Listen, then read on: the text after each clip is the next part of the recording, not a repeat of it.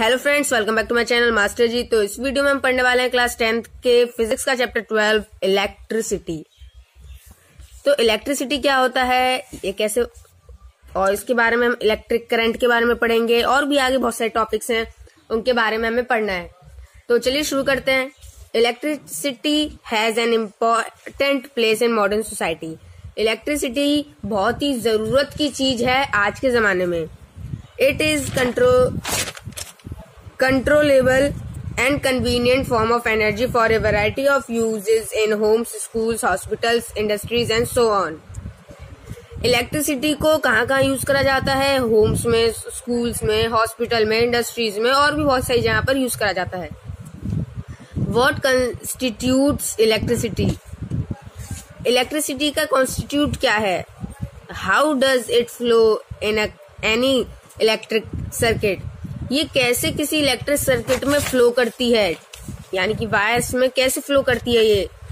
What are the factors that control और regulate the current through an electric circuit वो कौन से factor हैं जो रेगुलेट करते हैं या फिर कह लो कंट्रोल करते हैं इलेक्ट्रिक करंट को किसी भी वायर के थ्रू फ्लो करने में? In this chapter we shall attempt to answer such question we shall all discuss the heating effect of electric current and its applications हम इस चैप्टर में इन्हीं सब क्वेश्चंस को अटेम्प्ट करेंगे और हम इसको पढ़ने से पहले मैं आपको थोड़ा सा बेसिक बताना चाह रहा हूँ, जो इस चैप्टर के लिए बहुत इंपॉर्टेंट है। ठीक है? तो पहले क्या है? आगे आप जब पढ़ोगे, तब क्या पढ़ोगे? तो ये क्या देख रहे हो आप? एक सेल है। ठीक है? आपने छोटे में भी डायग्राम देखा होगा, ये सेल है, ये गया वायर ठीक है, और ये एक बल्ब बना देता हूँ मैं यहाँ, ठीक है, ये बल्ब है, ये बल्ब है, उसके बाद फिर फिर यहाँ से एक वायर गया, ये क्या है स्विच है एक, ये स्विच बना दिया मैंने, और यहाँ से ये। तो आपने देखा होगा, ये ड्राई सेल है ये बल्ब है, ये स्विच है। तो ये क्या है? और ये वायर है मेटलिक वायर ठीक है? तो इसमें क्या होता है? सेल के थ्रू इलेक्ट्रॉन्स का फ्लो कराया जाता है सेल के थ्रू ठीक है? ऐसा तो नहीं है कि सेल लगाई। ऐसा हमने देखा है ना कि सेल लगाते हैं, बल्ब जल जाता है। है ना? तो ऐसे क्यों होता है? क्योंकि सेल क्या करता है? सेल इलेक्ट्रॉन्स का फ्लो कराता है। तो एक सिंपल इलेक्ट्रिक सर्किट है। जिसमें क्या कर रहा है? सेल सेल इलेक्ट्रॉन्स का फ्लो कराएगा। तो ये कैसे करता है? वो हम अभी यहाँ पर एक और डायग्राम में देखते हैं। सेल। तो यहाँ पर एक मैं डायग्राम बनाता हूँ। तो यहाँ पर एक आप डायग्राम देख सकते हो। यहाँ इस वाले इस वाले में जिंक एनोड है, इसमें कॉपर कैथोड है। तो इसमें क्या होगा? तो इसमें क्या होता है हमने पार्टीशन के लिए यहाँ पर एक आ, कुछ भी चीज़ लाइए कि पार्टीशन हो जाए तो ये अलग पार्ट है ये अलग पार्ट है ठीक है? तो इसमें क्या होता है जिंक एटम से मिलकर बना हुआ है ठीक है? जेड ठीक है? तो वो क्या करेगा जिंक जिंक अपने इलेक्ट्रॉन्स को लूज कर देगा ठीक है? इलेक्ट्रॉन्स को लूज कर देगा, जिंक। ठीक है तो इलेक्ट्रॉन को जब वो लूज कर देगा,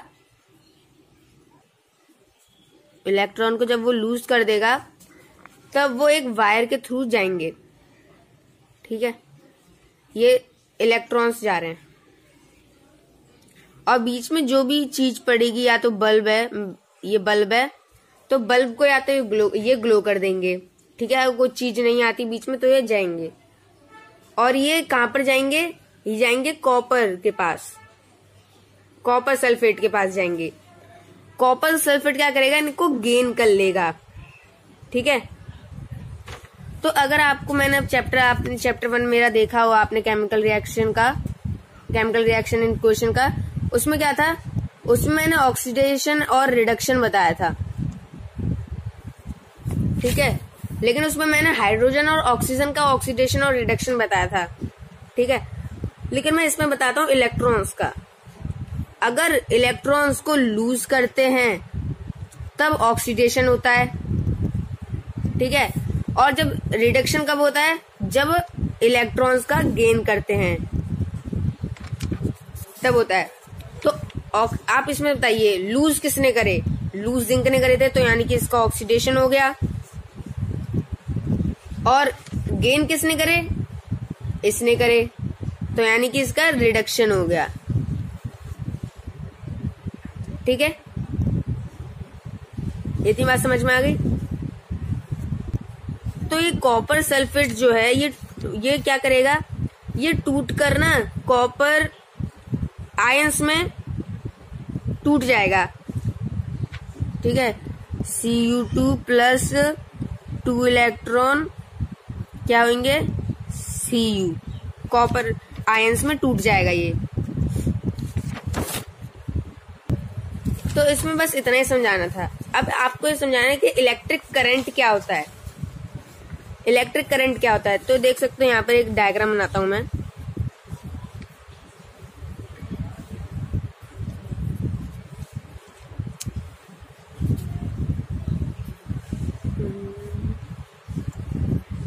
देख सकते हो। इलेक्ट्रिक करंट क्या है? इलेक्ट्रॉन्स का फ्लो करना।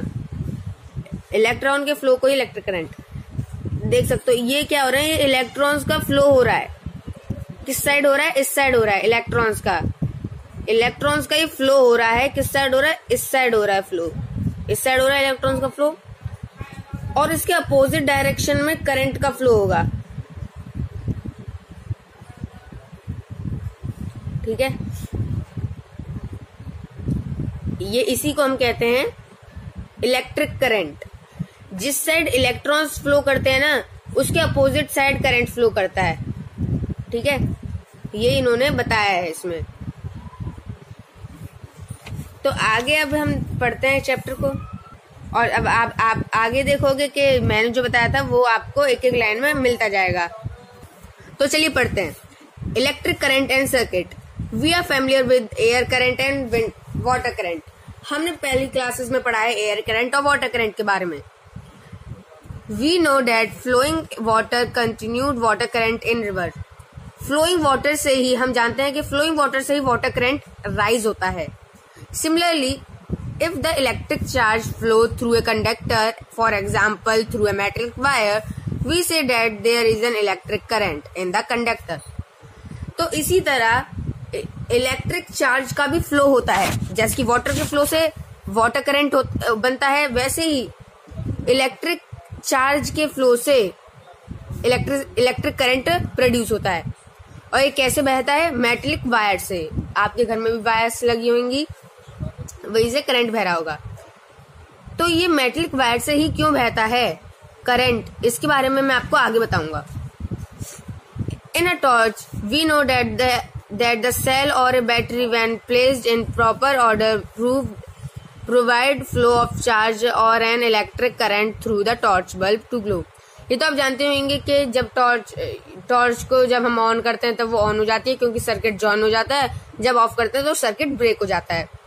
तो इसलिए वो बंद हो जाती है torch we have also see that the torch give light only when it switch on ये बताया कि जब स्विच ऑन होता है तभी सर्किट जॉन होके वो बल्ब जल जाता है।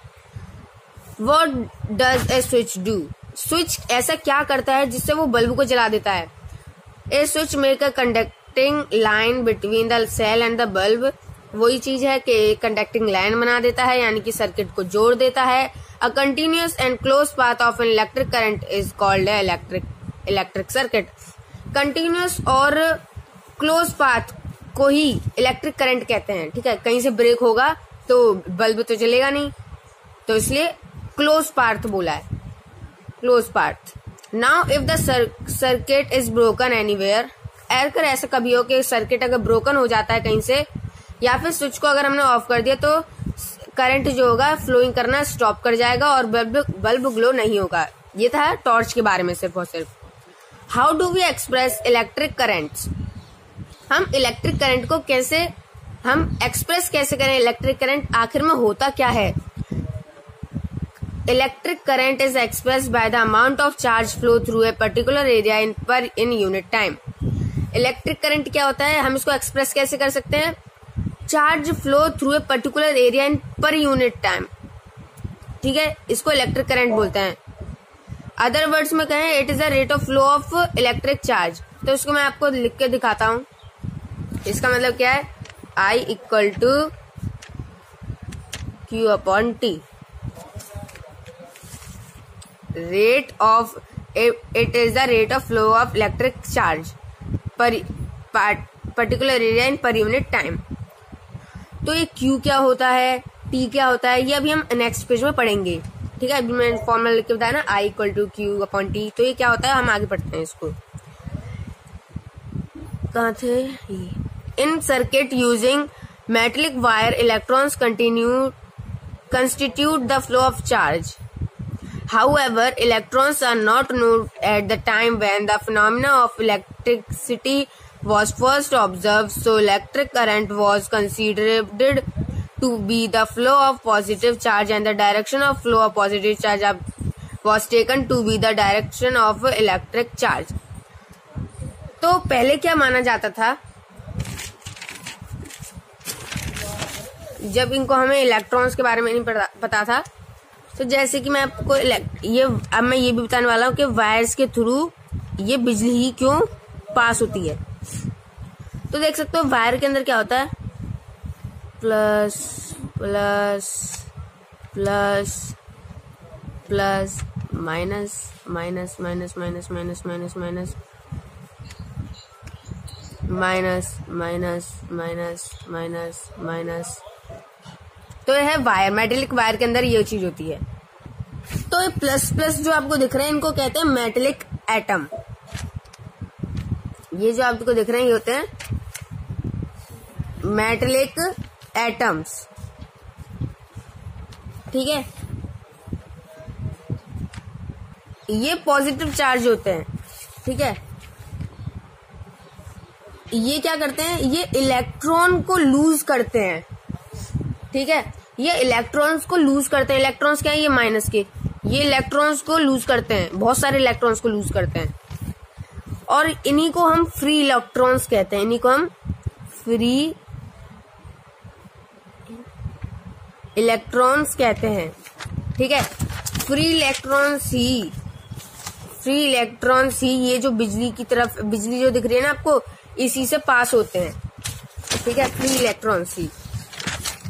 तो ये पहले जमाने में क्या माना जाता था कि जिस साइड मेटेलिक एटम्स का फ्लो होता है, उसी साइड करंट का फ्लो होता है। ठीक है? ये माना जाता था पहले। लेकिन ये क्या हुआ? बाद में क्या करा गया? ये गलत हो गया। लेकिन कन कन्वीनियंटली हो गया। कन्वीनियंटली क्या है? In electric circuit the direction of electron current is taken as positive to the direction of the flow of electrons which are taken as negative तो अभी मैंने आपको जो बताया वही है। तो देख सकते हो, मैंने बताया था ये इलेक्ट्रॉन तो पहले क्या माना जाता था कि जिस साइड पॉजिटिव यानी कि मेटेलिक एटम्स का फ्लो होता है, उसी साइड करंट का फ्लो होता है। तो लेकिन यहाँ पर होता है फ्लो प्लस पॉजिटिव तो लेकिन ये क्या हुआ? हमें तब इलेक्ट्रॉन्स के बारे में पता नहीं था। जब इलेक्ट्रॉन के बारे में पता चला, तब ये हमें पता चला कि इलेक्ट्रॉन से ही करंट फ्लो होता है। ये मेटेलिक मेटलिक एटम से फ्लो नहीं होता। ये इलेक्ट वो इलेक्ट्रॉन से फ्लो होता है। तो इसलिए हमने इलेक्ट्रॉन लिया। इलेक्ट्रॉन इस साइड फ्लो होते हैं, इस साइड लेकिन हमें ये पता चला कि इलेक्ट्रॉन्स के अपोजिट साइड करंट फ्लो होता है। जिस साइड इलेक्ट्रॉन फ्लो करेंगे इलेक्ट्रॉन्स तो यहाँ पर फ्लो करते हैं, लेकिन करंट इस साइड फ्लो करेगा। ये इन्होंने इसमें बताया है।